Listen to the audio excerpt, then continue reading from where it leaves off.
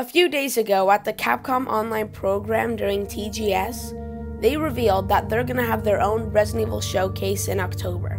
So today, in this video, I'm gonna be talking about what we could possibly be getting from the showcase. And uh, yeah, let's get into the video, shall we? The first thing I want to say is that I do not think we'll be getting a lot of Resident Evil 8 DLC news, or third person, or any of the Winter's expansion news. Because we've already gotten so much, and the showcase is going to be pretty near it releasing.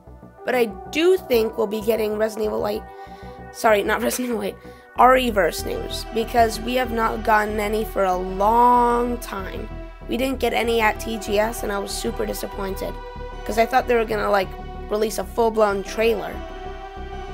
Now, about Resident Evil 4 Remake. I do think that they're gonna release something big, like a long trailer, gameplay, or a release date for a demo. Now, this is interesting because I just made a video about leaks, and one of the leaks was that there will be a demo for the village coming out this month. Now, I do not believe these leaks at all, but what if they're true? One thing I want them to talk about in the RE showcase is what we'll be getting for VR content in the remake. Because it's definitely not the full game, so what could it be? I did see someone on Twitter talking about how it could possibly be Operation Javier. Because in the original game, it was super unclear where, like, Leon knew who Krauser was like how they met. And so that could be a possibility because it will like clear a lot of people's minds when they're playing the game. I know this is a completely crazy theory, but what if Capcom completely surprises us with a little teaser of Resident Evil 9? They must have a lot to show us because they started development in 2016. That, that would like be epic if they did that. everyone would be so hyped.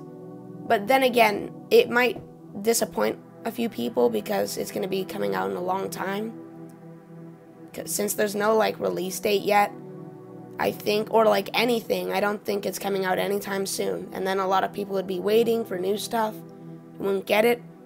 But I still think that would be sick. Now, one thing I want to talk about at the end is how Resident Evil 4 Remake coming to PS4 is a bad idea. Because Apparently, Resident Evil 8 Village had to cut a ton of stuff out just because it was also going to PS4. Th- that's because PS4 has limitations. So that could possibly mean we'll be getting a very short Resident Evil 4 remake, even shorter than the original game.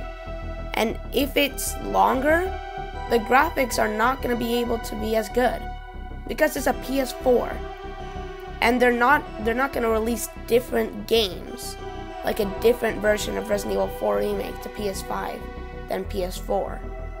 Because that would just be absurd. Thank you for watching this video. If you enjoyed it, leave a like and tell me in the comments your thoughts on all of this. If you haven't already, subscribe because I'm trying to get to 500 subscribers by Halloween. And so is my friend Bagels Battles, so check him out too. And I'll see you guys in the next one. Bye!